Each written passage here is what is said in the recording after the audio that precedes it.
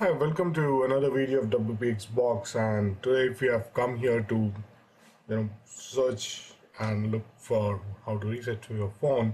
It's a very sad thing. Uh, I mean, who likes to reset the phone? But this video I prepared for you very heavy-hearted and thought you know at least you should have an experience of seeing the reset of the phone, how it works without actually doing it. So let's do it so what we need to go is uh, need to go to settings and look for option which says about.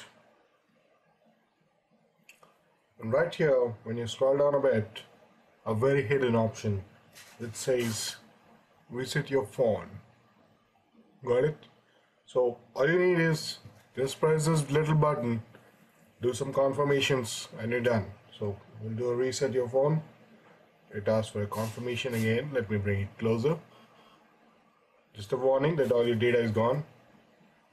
Oh yes all your data will be gone and Zune will be the only thing which you can actually use. So we'll say yes. We'll say yes. And it will restart my phone if you want to take a look restarting There you go. It's restarting the phone and it'll take you back the day when you actually, you know, turn on your Windows phone very happily. But sad you're going to reset it today. So make sure all your backup is done and at least you have something in Zune and all because uh, I don't know how it will work out but it takes a bit of time. So I'll cut this video short. Don't worry about that. Okay there you go. I got this phone from US it's unlocked phone from a friend. And there you go. You can see Windows phone back. This is normal boot stream so don't worry about that. You'll see it every time you turn on your phone. And yeah.